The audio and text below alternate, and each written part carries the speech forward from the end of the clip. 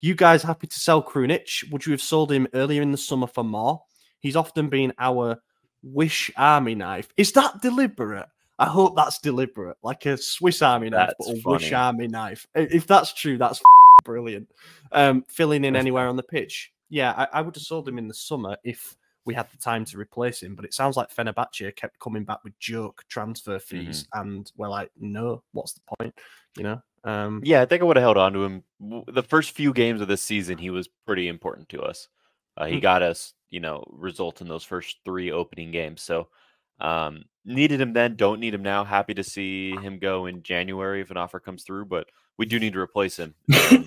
Maybe Bennacer is a replacement, you know, like a new signing quotations there coming back. So, um, but but in the summer, I would have held on to him for sure.